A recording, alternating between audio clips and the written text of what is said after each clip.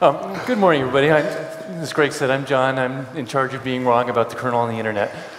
um, and we have a, an interesting panel of folks to talk about kernel development issues here.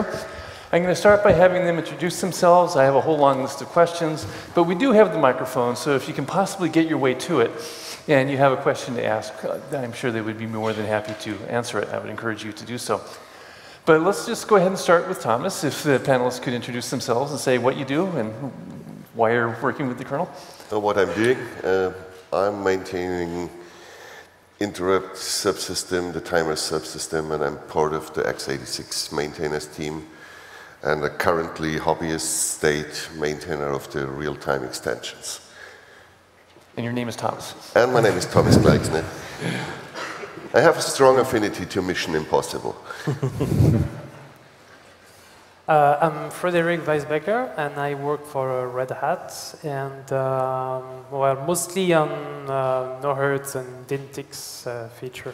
So it's a subset of timers. So somehow I work for Thomas.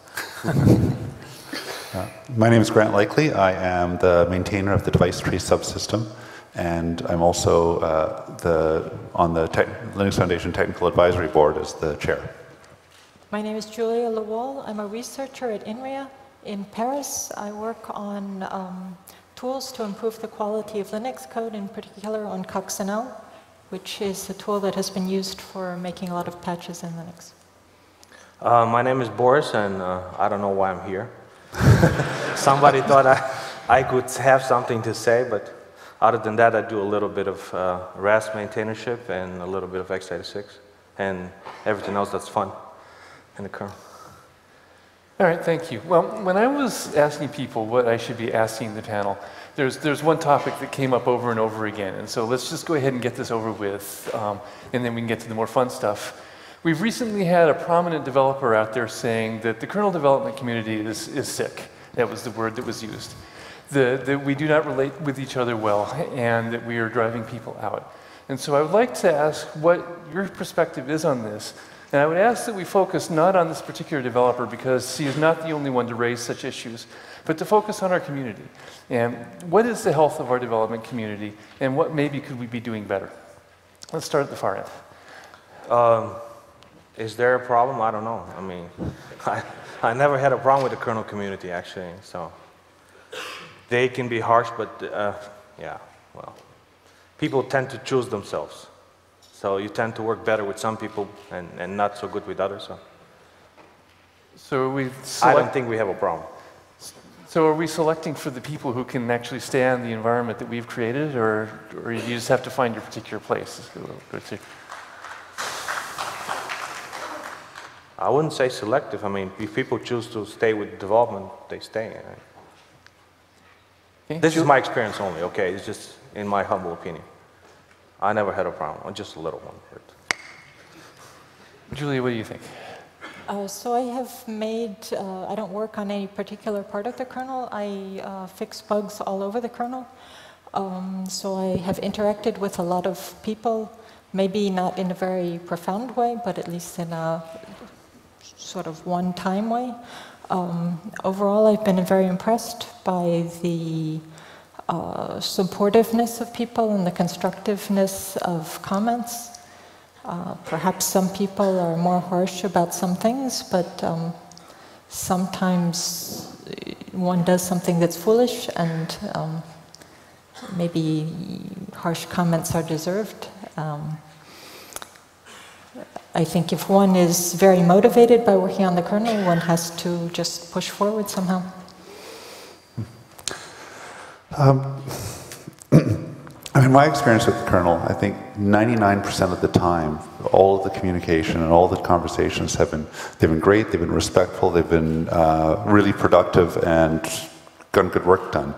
Uh, but I don't think the problem is the 99% of the time. I think the problem is that there, when things do bubble to the surface, those are the conversations that can end up setting the tone for the entire community. Uh, and, and I am concerned about this. Uh, I think that it, uh, it keeps some people out of the community that would otherwise be, uh, that, that would otherwise be more involved. Um, So, I mean, I can't speak for all kernel maintainers, but I can speak for myself. And from my perspective, uh, I don't want to work in a community that will tear down other people, where the anger bubbles to the surface too quickly, or where uh, conversations start to degrade into attacks upon a person or abuse on a person instead of uh, uh, instead of debating vigorously the, the code and the technical things that we're working on. Uh, so from my perspective, it's, I think it's really important for the health of the community not to just kind of say, well, that's 1% and we'll just kind of ignore that, but to instead to be really clear about what my position is on, uh, on the way that we interact. And for, my, for me, it's, I don't want to be ever in a conversation where I am tearing down or abusing another developer who is working here. And so if, if that happens, uh, on any of the mailing lists that I'm going to, I'm going to, talk, I'm going to call you on it. I'll talk to you about it privately, but I'll call you on it. And I will hope that if when, you know, when I screw up and when I start to get emotional about something and cross a line, that you'll do the same for me.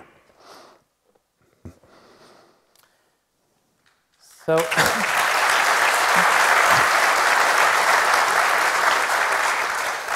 Uh, so if there is something that I think we could do better with the community is perhaps the development process, which is which I think is sometimes a bit heavy, um, not only for newcomers but also for uh, regular contributors. I mean, at least that's how I feel myself. I can't speak for everyone, but uh, yeah, the, the life cycle of a patch is uh, usually very, very long. Uh, from the time you write the patch, then, well, that is just 5% of the development process. Then you have to write the changelog, post to the, to the mailing list, then waiting for uh, reviews, then you have to iterate again. So sometimes if you just have a one line change to do, you think about it twice before investing on it. Because it's, yeah, always quite some time to invest, even for very little changes. Thomas? Uh, I know that I'm of the persons who can get emotional on the mailing list. I'm not looking for an excuse for that. But on the other hand, if you're in a maintainer's position and you get bombarded with patches, and the patch quality is lousy as hell, so you go there and say very politely, hey, this is wrong for a technical reason. Uh, please change this, please do another, a different approach. The same person come back within 24 hours with another patch series, which is similarly wrong, but slightly different. And you start over and uh, make it a little bit more clear. And I'm really trying hard to keep calm, but after you get the fifth version of shit, really, there is a point where I can't uh, stay calm anymore because it doesn't help. I mean, the only thing that helps at some point is tell these people to go away. Look for someone who is actually willing to help them to do their job. I can't do that. I can't hurt hundreds of random developers all over the world. That's just a time question. I mean, I tried the clone thing, it comes always back with E too many instances. Actually, I can understand what Thomas says. I mean, you sit there and review patches all the time, and you get the pad, the next version, and you say, change it this way, change it that way, and then you get a different change, a completely different one. And sometimes you just. But, I, don't, I, I don't think. But I have to say, there's a, there's a lot of positive examples where you actually can work very, work very well with people. Yeah. You explain them where you're going. They come back after a week and have intelligent questions about it and have maybe an, an, uh, uh, a different solution to it and we discuss it and then they go back and write a real, real great patch that. I mean, that's, that's the fun part of being a maintainer. You see that actually they thought about it, like really thought about it. Right. Well, and, and, I think that that's important. Is that one of the one of the key factors of our community is that we're really good at at, at attacking a problem and coming up with good solutions. And we're not okay with hacky solutions. I don't think we, I don't think the two things that are going on are mutually exclusive. We cannot give up the, the technical excellence that we demand. Uh, but I think at the same time, we can be clear about, you know, there's, we're not going to attack people in the process. Well, what I do, for example, when I'm really frustrated, I go for a run. it helps. Makes sense. All right, we have a question from the audience here, I think. I have a two part question about device trees. part Can one. I, can, can I go now? No. Part one, when are we going to get them out of the kernel tree?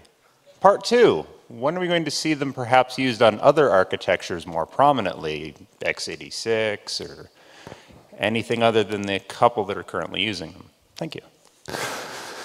Right, so I guess I'll take that one. uh, okay, so the first part, um, device trees out of the kernel. It's, we've gone back and forth on that a number of times. Uh, it would be really good to have a separate repository.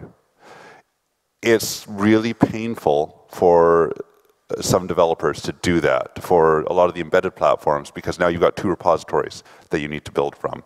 Uh, so we've made some directions that there is actually a kernel tree that um, uh, on kernel.org that's been maintaining a mirror of just the device tree files that's been kind of a staging first step.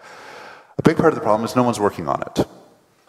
And you know, to, to have someone get a bee in their bonnet to actually get this, get this done and make it so that we can move uh, the device tree files out of the kernel piecewise so that you know we've got some in the kernel tree for early development, but still be able to go to an external repository to get them.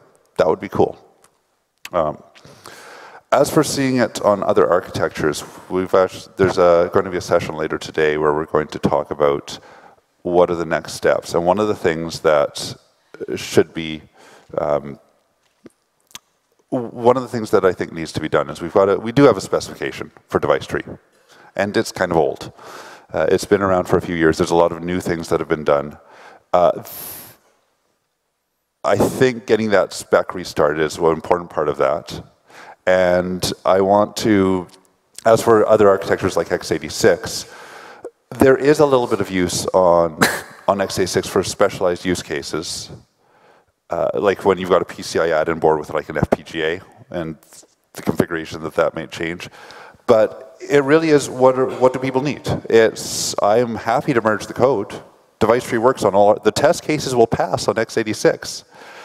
Uh, but I haven't seen patches of people who have got things they are burning to be able to do on x86.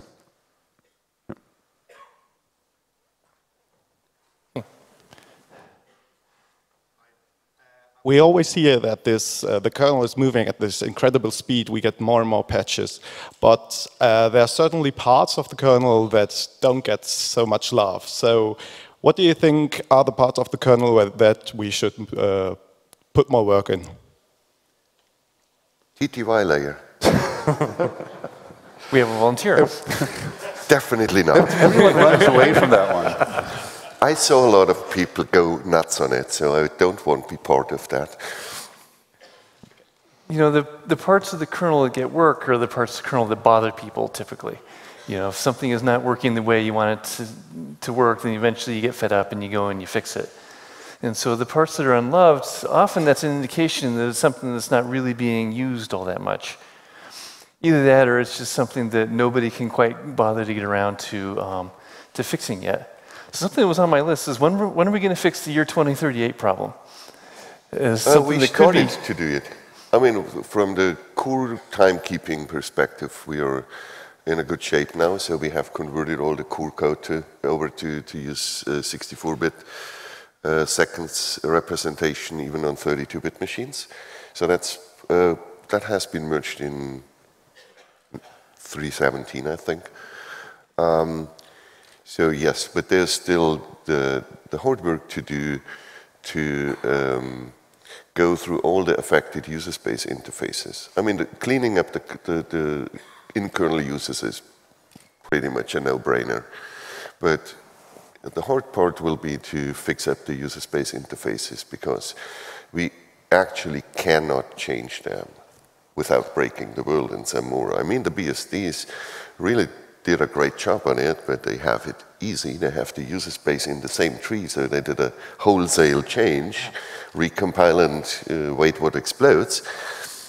Uh, so what we have to do is actually go and analyze all and every uh, syscall interface. Uh, the syscalls are not the hard part. The hard part are the IO, uh, IOCTLs, and there's a zoo of it.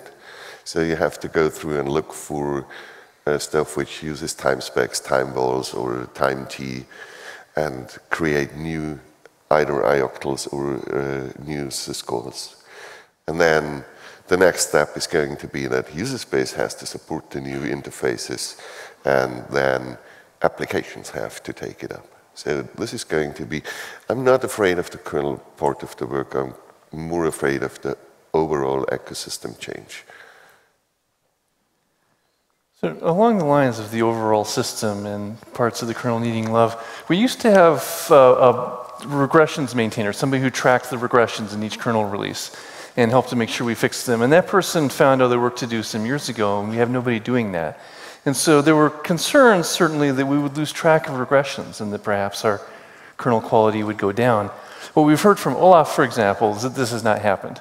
What we've heard at the kernel summit as well is that this has not happened that if anything, we're, we're producing fewer regressions than we used to, both in terms of functionality and in terms of performance. I'm curious if, if you all agree that we're getting better, and if so, how is this happening? How are we getting better? I think most of it is that we do have more tools, we do have more in-kernel debug infrastructure, and we do have more fully automated testing, which catches a lot of things mm. before they start to explode in the face of users. We've also gotten better at, at process, at what we're doing. Uh, it's very, very clear before a maintainer sends a tree to Linus or a sub-maintainer to their maintainer, you know, make sure your kernel builds on allmodconfig on x86. And you know, these are things that I think a few years ago were more sloppy than they are now. And we have the zero-day testing. I think that changed a lot of improved a lot. Yeah, and stuff like Julia is doing with, with her static analysis tools and uh, actually finding a lot of interesting bugs in the kernel. Yeah, it's, yes, it's, so it's, for people who are not familiar with it, so every day um, a whole bunch of different uh, compilation with many different options is run, many different configurations, and many a number of tools that are included in the kernel are run over all of the patches that have been contributed. And then the developers who contributed any patch that causes a problem are informed immediately. And hopefully, since they were thinking about the code within the last 24 hours, they will be motivated to fix up the problem quickly. And I think in general, the response has been very good, and people fix up their code as they should. Oh, and also, uh, I, I tend to see like bug reports in LKML, but not so often. We could use somebody to, I don't know, track those, maybe. And uh, another way to get to get involved in the kernel is not only just fixing a, just trying to analyze a bug and try to fix it. It's much better way than cleaning white, white space. So, yeah. Yeah, we have enough white space maintainers. um, okay. An interesting, one of the more interesting changes that's gone into 3.18 is in the networking layer. And it's a very simple change. It takes the form of, of a flag passed to device drivers saying that there are more packets coming, so you don't have to actually kick the hardware yet to make it going. And this has improved our transmit performance considerably, especially with small packets, which was a big problem for Linux for quite a while. A very simple change. And um, Jens Axboe kind of ironically pointed out that the block layer has had a very similar mechanism for years, where they have said there's, there's more requests coming, so you can do this. Um, so my question is, and I want to start with Julia, since perhaps you put your fingers into more parts of the kernel than almost anybody else around. How are we communicating between the various subsystems of the kernel and moving good ideas from one part to the other? Do you see bad ideas that show up that need to be fixed here and then they show up again over here? That sort of thing. Or do we, I mean, sometimes it seems like the kernel is, is a lot of different silos and areas that people don't understand across them. And is that a problem, or do we actually do well at moving ideas across the kernel? Yes, I'm not sure we do so well. Um, so an example that I have studied uh, a bit is the devm function, so it allows managed memory. And this is something that was introduced in 2007. And so I made a graph for one kind of driver where it could be used, and the uptake was extremely slow for a long time. And then eventually it took off. Um, and then it slowly has moved, it has become available in more different types of devices. And then maybe as people have gotten more aware of it, it the, up, the, the take up has been quicker for some other kinds of devices. Um, but there's still a lot of other opportunities for its use. And it's something that's, in some sense, I mean, it's not a big thing, it's just the management of different kinds of resources. Um, but it's something that people very often do wrong, and the use of these devm functions eliminates the possibility of doing things wrong. Um, so it's something that, in some sense, is very important. So. I've seen in that case the communication between different subsystems being rather slow. Um,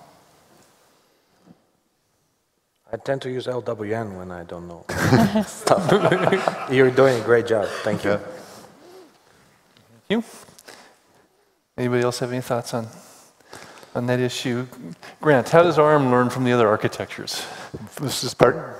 How does ARM learn from the other architectures, say? Are there good ideas coming from other architectures or Um, to other pain- architectures? uh, painfully, is that a useful answer?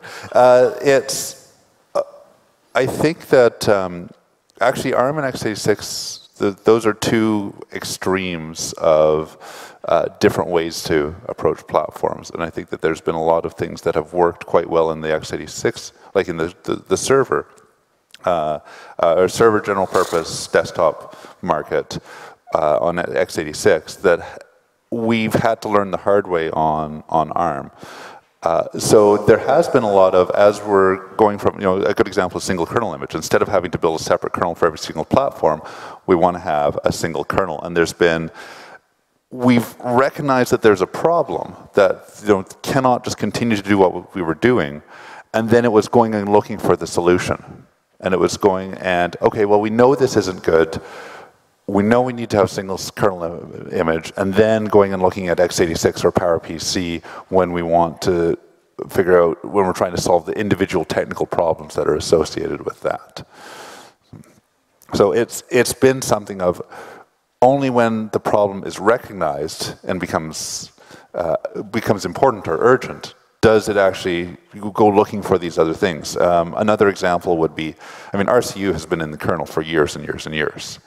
Uh, I'm just now looking at bringing RCU into the device tree infrastructure uh, because there's patches that have been, uh, there's been a patch set that's been worked on the last couple of years by uh, to add dynamic changes to the device tree. Well, we've got this kind of awful locking problem and RCU solves that locking problem. And we, I wouldn't have made the jump to do that because there wasn't a burning need to do so until this happened.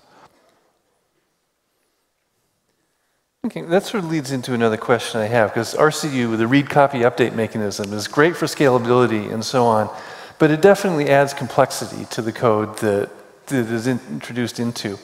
In a lot of places, we were adding a lot of complexity for um, what sometimes seem like crazy use cases, you know, people wanting no hertz um, CPUs, for example, or um, things like that. Are we approaching a complexity cliff, or are we managing that so far? I think due to the fact that we spent a lot of time in the last 10 years to move actually complex stuff out of architectures and into the core code, we have a very small spot where we handle the complexity. Yes, we are aiming to it a complexity cliff, but we are going, we are taking care of not jumping down to, down the cliff too fast. Yeah. Uh, I, I, think we've done a good job as well of compartmentalizing the complexity, where the block layer is complex, but it doesn't interact with CPU power management, which is also complex. Now, I mean, there's varying levels. Some, some things are, are nice and contained, other things end up having hooks all through the kernel. Um, I think we're doing okay though. And we are good in, in rebooting stuff which we, where we went down the wrong road. Once we stand just in front of the clip, we usually turn back. There's a moment of, oh, that's awful, let's not do that. Pardon? There's a moment of, oh, that's awful, let's not do Yeah. that. And uh, in some points, you have to go down to that point where you actually figure out it was the wrong, the wrong approach. I mean, some of the approaches worked very well 10 years ago. CPU hot plug is one of those. I mean, yeah. it still works in that- some way. Yeah, and- and that's one of the areas where um, I think we're actually quite conservative uh, and quite careful when we start touching the complex parts. I mean, the, the CPU power management is a good example of that, where there's been, you know, uh, power-aware scheduling has been an ongoing topic for the last number of years, and you know some people are frustrated that it's not getting into the kernel. But this is not an easy problem. It's not easy to come up with a solution that's going to work across all the different platforms that Linux runs on. Uh, so it, it's in a sense it kind of has to be painful to make sure we're vigorously dealing with all the, the corner cases that we're going to have to deal with. I think complexity is also on the table when you do review. For example, you always ask yourself, is it uh, is the complexity worth the trouble? Is it going to bring us anything? And I've seen cases where we add the complexity and a couple of days later we just remove it because it's unhandleable. We go like, "Ah." make it simple, it's better. Sometimes. We have a question. Hi, so uh, there was a keynote in San Jose by Tim Bird about running Linux on small devices. And there's a lot of differences of opinion on how small is too small to be considering running Linux. Um, what would be some of your thoughts on where that barrier might be? I would say the barrier is the amount of time someone's willing to work on getting the Linux kernel running on that device. It's, it's going to be, my view on the thing on it is that I think the work to shrink the kernel is great. It's fantastic. I, I support that all the way. Uh, the problem is, is that there's very few people who are either have the funding to you know, pay for them to work on that, or interest or product that they actually need that for. You know, we still are in the realm of, especially on the small devices, the smaller devices just keep getting cheaper, and it's easy to throw more resources at it. Uh, so there's lots of places where it would be advent, where having shrinking down the kernel and making it smaller would be valuable but it hasn't gotten the attention, it hasn't gotten the um, priority to actually work on it and make it happen. Uh, now, as far as what's too, what is actually too small, there is, of course, going to be a limit where, you know, our whole code base, you know, you're, you're not going to run it on an ATtiny 8-bit microcontroller. But I, I don't know how to answer the question of what's, what's too small, because if someone's successful at getting it running and the patches aren't awful, why wouldn't we pick it up? You, you say that, Grant, but there's been some real pushback against some of the tinification patches that have been put out so far. That either they bring an explosion of configuration options, or they would say put the network stack in a non-standard compliant sort of form, good enough for the people who want to use it, but not good enough for the networking maintainers. We, we do run into people who resist that kind of change, and it makes it harder to get it in. In general, one could extend the question to how far should we push things in the kernel to meet the, the requirements, the use cases of people that we might regard as being crazy users? The people who want to have CPUs with no kernel involvement at all, so they can run their task on it and not even have to deal with, with the latency caused by an interrupt. Or you know, people who want to run thousands and thousands of processors, or people who want to run on some sort of little smart dust thing that you're going to spread all over the world. You know, these are use cases that push the boundary. How far are we willing to go to support those? I guess long, as long as it doesn't violate common sense and violate uh, the functionality itself and restricts uh, further development, we will go the same road we did for the last 20 years, which just accommodate with the needs.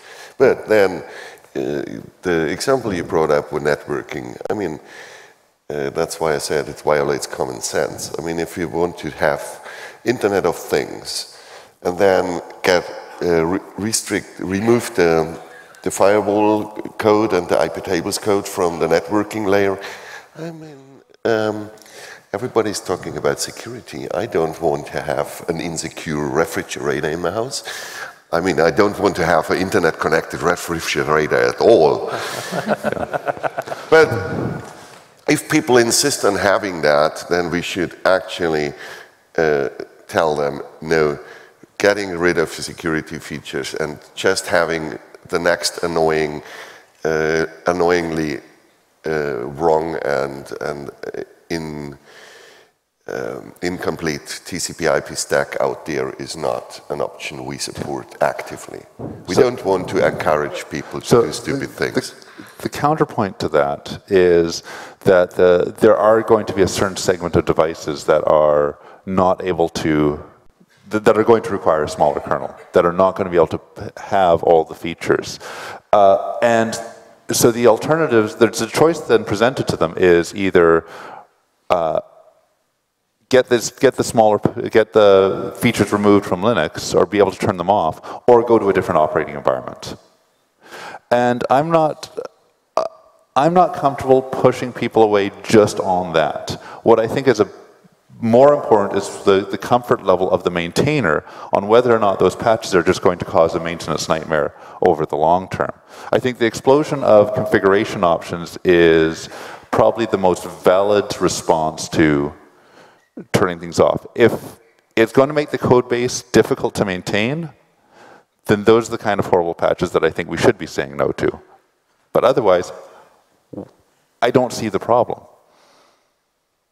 Well, I see a problem in encouraging people to do stupid things. I mean, people do stupid things anyway, but I, as a maintainer, don't want to encourage them and actively help them to shoot themselves. I mean, I'm feeling bad about that, really. okay, we have another question over here.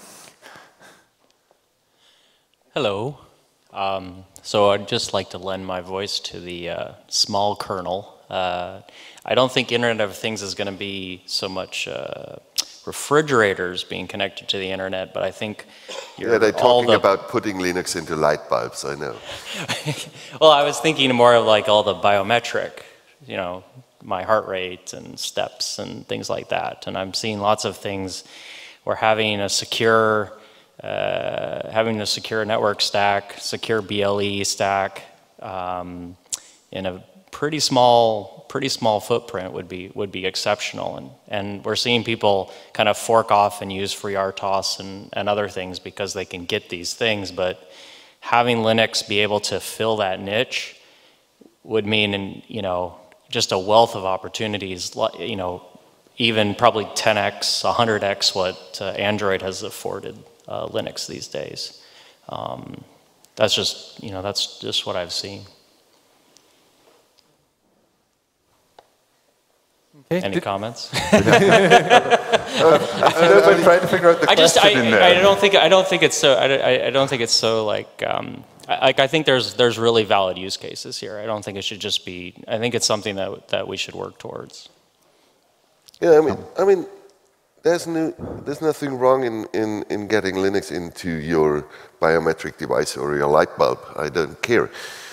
But um, I, we have to have the people who actively work on that and work together with the maintainers to, to not make it a nightmare so one of the patches I saw floating around, it was the hell of an ifdef uh, horror over 10 source files, sprinkled ifdef constructs in, and then I'm going to say as a, as a maintainer, no way.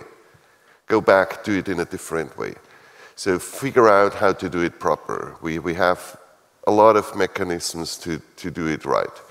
So, but then you have to have a lot of people going through all over the tree and figure out how to solve that tinification problem in the various places, working with the various maintainers without uh, um, imposing um, any barriers on the development of, of Linux and then of the evolvement of the code. I mean, I, I think there's... the, the solution cannot be, okay, we sprinkle uh, 10 tons of ifdefs around the kernel and then run away screaming and say, yeah, we, we made it. No, that's not going to happen. I mean, if people come with proper patches and, and they yeah. are not hurting anything, nobody will object to, to, to merge them. And if you do that, do the apply the ifdefs, and then you go and change that and break some device, people go screaming, you just broke my device, and then it becomes a real, real maintenance nightmare. So right. this is like a big problem. So if it's done clean, I don't think we Stuff care. has to be well thought out. I mean, we have brought large and complex patches into the kernel without breaking the world, without imposing too much trouble in the evolvement. And if the tinification stuff uh, wants to, to, to achieve that goal, they should just do it. I mean, it's, it's doable, it's not rocket science, it's just a hell of a work. And you need people who are not scared to touch every other file in the kernel. And the, the other thing with doing that work is it's, it's very fragile. Is because when you, the, when you get to that, you're talking about a very small subset of devices that not a whole lot of people actually get around to testing. So without someone really keen on getting in there and making sure that the, the tiny configurations still work over the long time, it will end up bit rotting. It will end up not being useful in a year after the patches are merged to try to be a little bit more positive than what uh, others have pointed out. Um, when I look across the kernel code, I see a lot of, um, there's a lot of old code coexisting with new code and different small variations of things. And it could be that a tinification perspective could motivate people to clean up some of that and um, improve the general quality of the code and understandability, maintainability yeah, sure. of the code and so on. Mm -hmm. So. I think you're right. Uni unification of mm -hmm. copied code should be a large portion of the tinification project. Oh, it's not just we copied code, but small variations copied. of things. Yeah, yeah we have mindlessly copied code all over yeah. the place. Okay, I, I, think that what we should do is we should move on to the next question sure. so that we have time to answer them before the, we run out. Yeah. Okay, this is essentially just a comment um, from a different direction. So at SUSE, we have been working with the high-end machines and, you know, 4K CPUs and whatever, and trying to get that stuff working with some vendors a while ago. And I think when, when you're doing reasonably weird stuff, there's a certain amount of pain that you have to endure yourself. So, which means um, there's certain things that we actually have tried to push in the kernel, and in other areas we got a firm no. And that doesn't mean we have to turn away from Linux, it just has to mean we have to carry those patches ourselves. And I think that is also an option for the tinification. If you are a vendor of a small form factor device with whatever requirements on the small side of things, um, rather than breaking the kernel for everybody, there's a certain you know, justice to actually keep some of the painful stuff on yourself. With, with, that may really be true just because everybody needs their kernel to be tiny in a different way.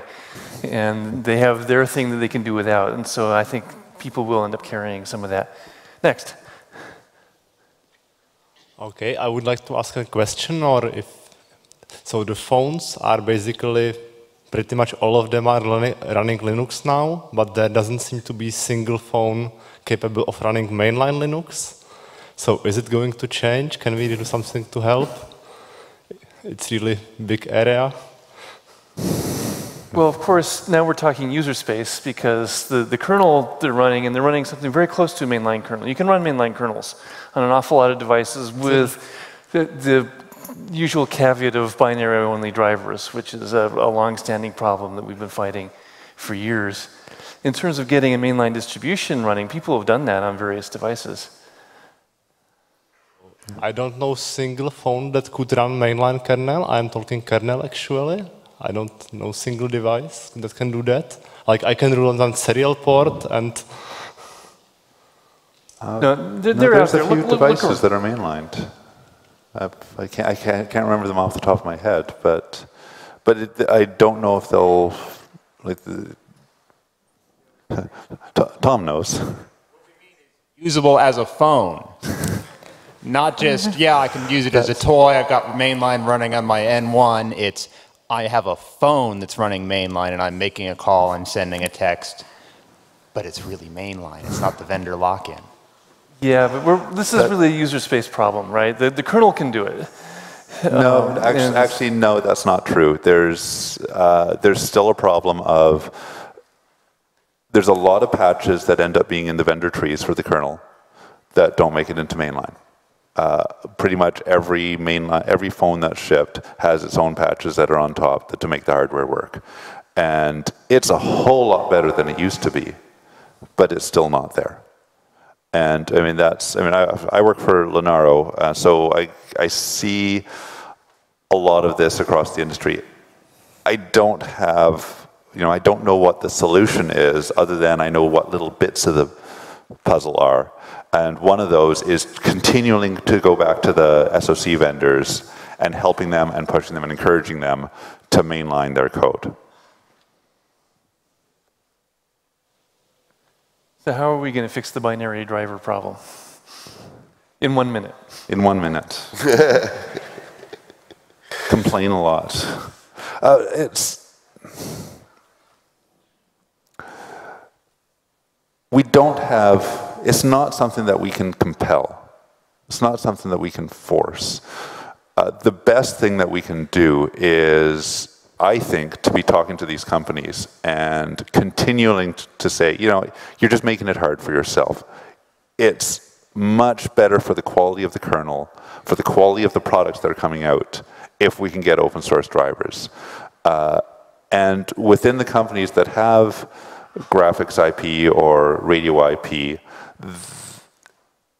it requires a culture shift within within those companies.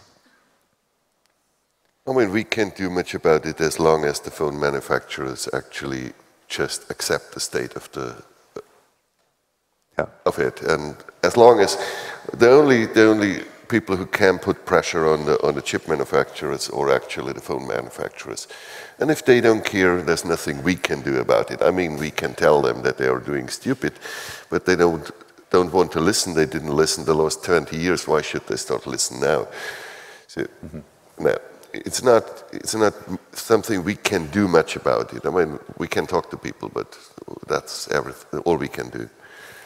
Although to say all we can do seems to be a kind of defeatist, it's actually quite. Uh, that's one of the things that we have at our disposal is we've got an awful lot of influence uh, in the way that engineers are thinking, and especially.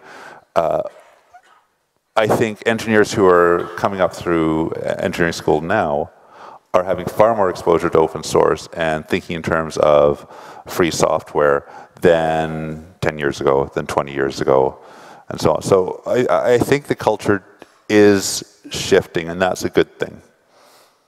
All right, well, looking forward to their contributions. Meanwhile, we are out of time. I think it's time for the break. So I would like to thank all of our panelists for joining us today.